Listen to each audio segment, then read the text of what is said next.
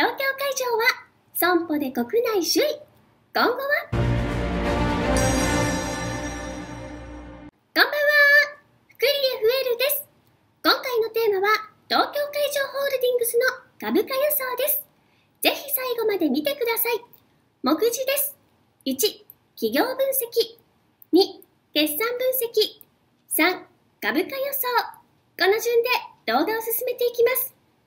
まずは、東京海上ホールディングスの企業分析から。東京海上は、東京海上日動火災保険を中核とするグローバルの損保グループ。業界最大手の一社です。保険の種類は大きく分けると、公的保険と個人保険、企業保険の3種類。公的保険とは国や地方自治体が運営するもので、個人保険と企業保険は民間会社が運営するものです。民間が運営する個人保険や企業保険には、生命保険や損害保険などがあります。東京海上ホールディングスは、自動車保険、火災保険、地震保険などの国内損保を中心に、国内生命保険、海外保険、金融一般の各事業を展開しています。東京海上ホールディングスが主軸とする損保保険は、事故に備えるもの、火事に備える火災保険、地震に備える地震保険、自動車事故に備える自動車保険などのことを指します。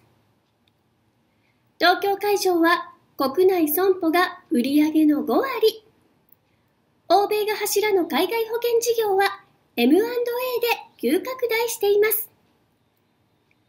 保険会社の売上は収入保険料で見るのですが、東京海上ホールディングスの場合、自動車保険の割合が高く、次いで火災保険となっています。今期23年3月期は現時点で第一四半期までの数字が出ていますが、前年同期比で見ると、海外の増収率が伸びていることがわかります。海外は前年同期比でプラス16.2%の伸びです。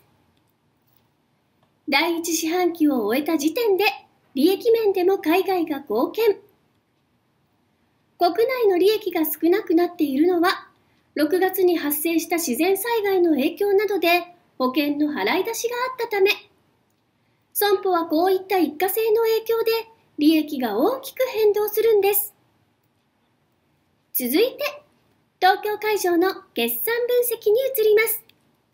現時点での東京会場、配当利回りは、配当利回りとは、現在の株価に対して年間でどれだけの配当を受け取れるか、日本株平均2%以上を高配当株と判断した場合、東京会場の配当利回りは3.2%です。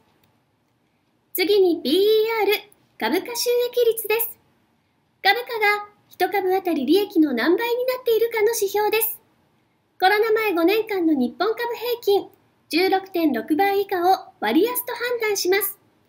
東京会場は12.5倍で割安の水準です。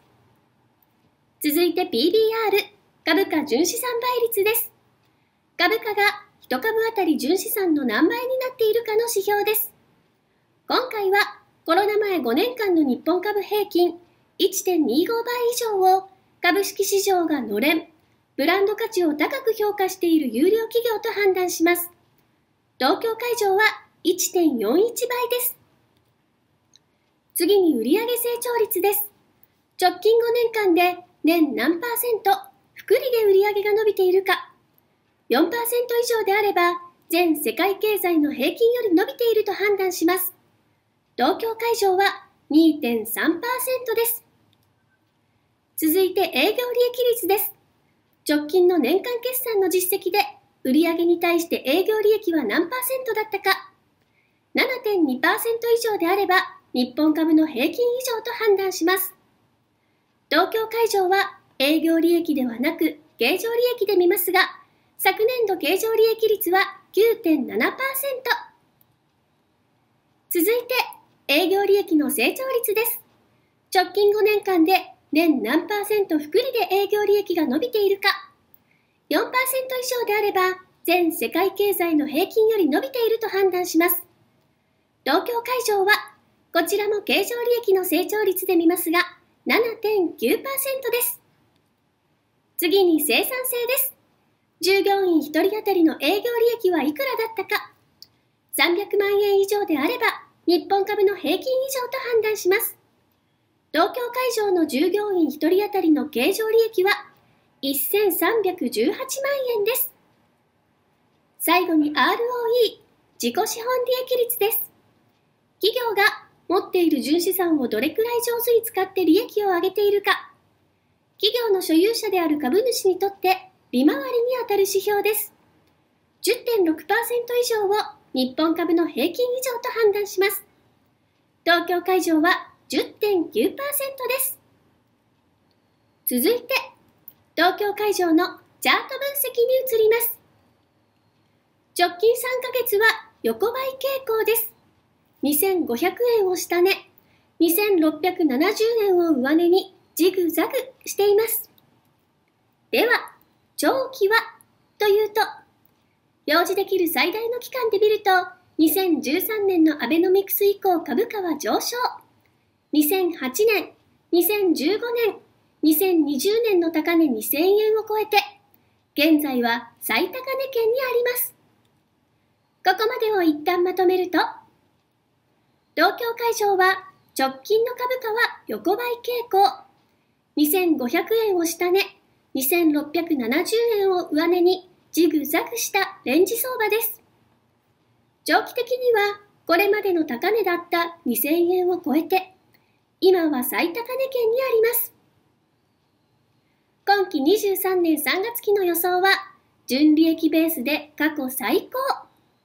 10年以上増配し続けており、株主還元にも積極的です。ということで、東京会場の株価予想に移ります。フエルの個人的な株価予想は、2670円から2736円まで上がると予想します。以上です。高評価、チャンネル登録、LINE フォローの3つをぜひぜひよろしくお願いいたします。コメント欄にてぜひあなたのご意見もお聞かせください。最後まで動画をご視聴いただき感謝しています。いつも本当にありがとうございます。ご運を